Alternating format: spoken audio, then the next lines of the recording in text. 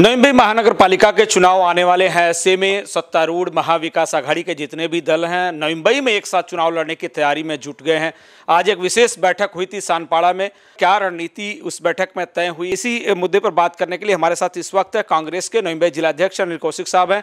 कौशिक साहब, आपसे जानना चाहेंगे, आज जो बैठक हुई है, बहुत अहम है, क्योंकि आने वाले टाइम में चुनाव है और ऐसे में महाविकास आघाड़ी दलों का एक साथ आना कई संकेत देता है। पहली बात तो क्या है, जो आज मीटिंग थी ना ये बहुत से मुद्दे में मीटिंग हुई है, क्योंकि महाविकास आघाड़ी है, राज्य में सरकार साथ में है, क्या शेयर रहेगा, क्या नहीं रहेगा, अकेले लड़ेंगे, साथ में लड़ेंगे, महाविकास आघाड़ी से लड़ेंगे, ये विषय तो क्या है कि भाई अपने को गवर्नमेंट अपने साथ में है, नई मुंबई के विकास के लिए क्या क्या काम हो सकते हैं और क्या की व्यू रचना करनी है, उसकी प्राइमरी मीटिंग इसमें कांग्रेस, एनसीपी और शिवसेना के बीच में स्थानीय स्तर पर जो आप लोग हैं, क्या स्थानीय स्तर पर इस तरह की कोई चर्चा हुई है कि कितनी सीटें किसके साथ रहेंगी? नहीं, ऐसा कुछ नहीं हुआ। लोकल लेवल पे नाना बाबा पटोले ने एक लेटर दिया जिला अध्यक्ष को, कि भाई, सौ बड़े पर लड़ेंगे तो क्या रहेगा? महाविकास कार्यक्रम तो क्या रहेगा? कैसे करेंगे?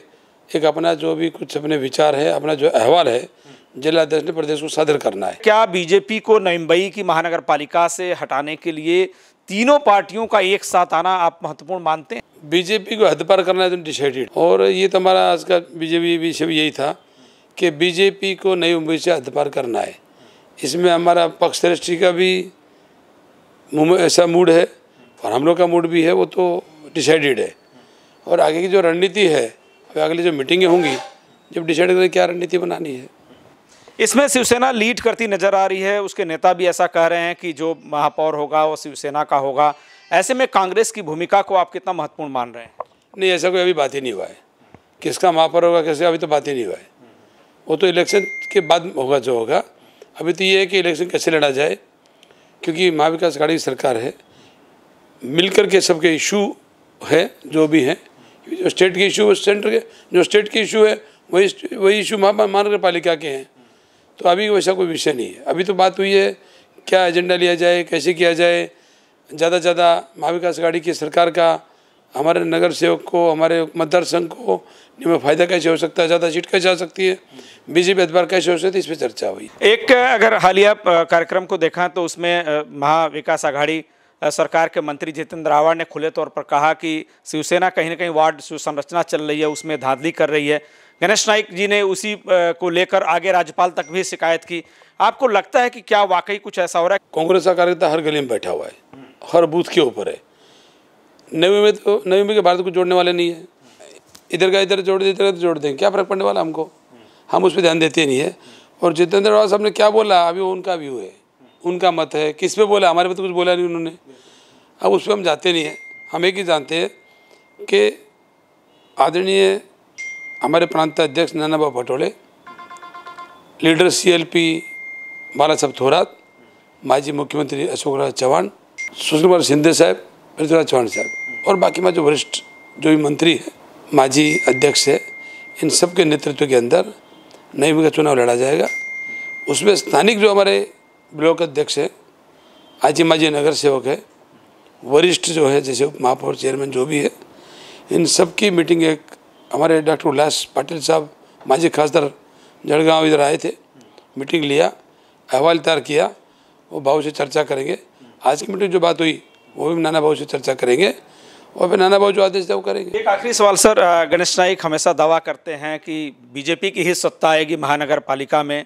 आपको क्या लगता है, क्या वाकई महाविकास आघाड़ी जो दल हैं, वो बीजेपी और गणेश नाई को टक्कर दे पाएँगे?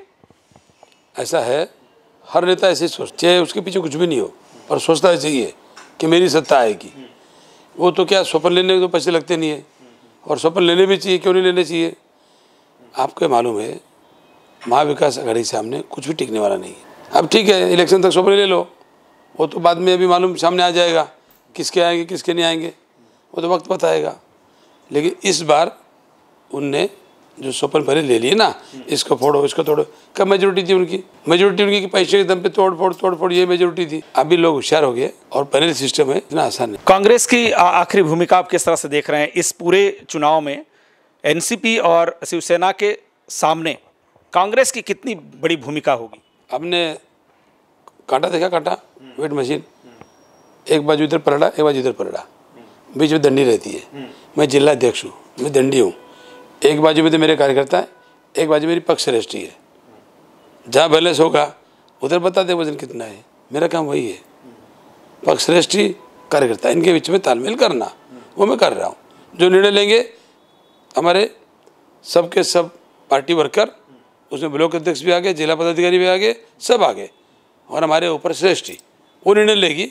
मेरा कोई अपना खुद का मत नहीं है। क्या अगर महाविकास आघाड़ी के एक साथ अगर चुनाव नहीं लड़ते हैं सभी दल तो क्या कांग्रेस इस तरह से अपनी तैयारी में जुटी है क्या कि वो अकेले अपने दम पर भी चुनाव लड़ ले? कांग्रेस वो विद्यार्थी है जो स्कूल में एडमिशन लेता है ना वेरी फ़र्स्ट से तैयारी करता है अपना। आप देखते रोज हमारे कार्यक्रम होते हैं रोज प्रोग्राम होते हैं और देखो जब हमको युद्ध में जाना है ना तो हथियार पहले से तैयार रखते हैं। कांग्रेस बंदे को हमने पूरा सुसज्ज बना दिया। कोरोना टाइम में देखो हमारी एंबुलेंस चल रही है, कहीं धान्य बांटा था गरीबों को वो करना था। वो टाइम बहुत से लोगों के पास तकलीफ़ थी खाने पीने की, वो मदद करनी थी। देखो इलेक्शन एक अलग विषय है। कांग्रेस की जो संस्कृति, समाज सेवा की ना, वो हमारे के बंद ही नहीं होती है।